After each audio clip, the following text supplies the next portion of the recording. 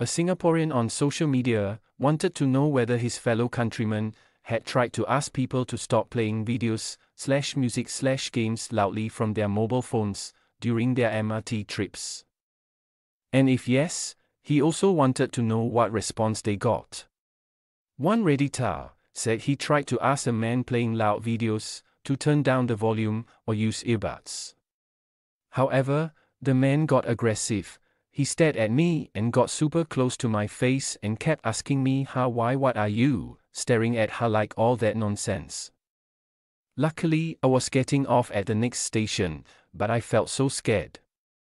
Another Redditor shared, I did to an uncle. He'd scared me and got off next stop without adjusting volume or anything. Not sure if that was to avoid me or it was really his stop. Other Redditors reported having the opposite experience and found that politely requesting from the aunties and uncles was effective. I call one of them, Auntie, can you lower your volume? Thanks, and they promptly turn off their video. It was a middle aged uncle.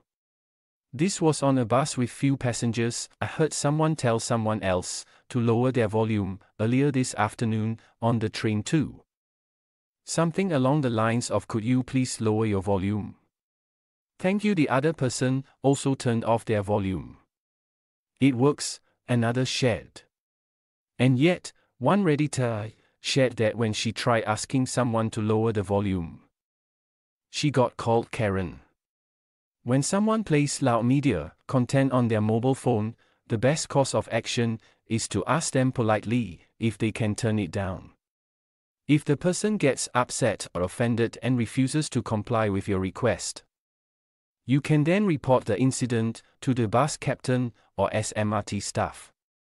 If you repeatedly experience the issue on MRT, complete the feedback form on their website or call them at 1 800 336 8900 operating hours 7:30 a.m. to 8 p.m. daily.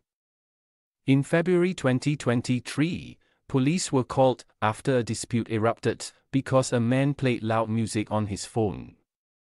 According to reports, the dispute resulted in the cancellation of the bus service, forcing over 20 passengers to disembark and find other forms of transportation. In another incident, a five minute video was widely shared on social media of a man yelling obscenities on the top deck of a double deck bus. According to multiple sources, the man was angry after someone asked him to turn off the music on his cell phone.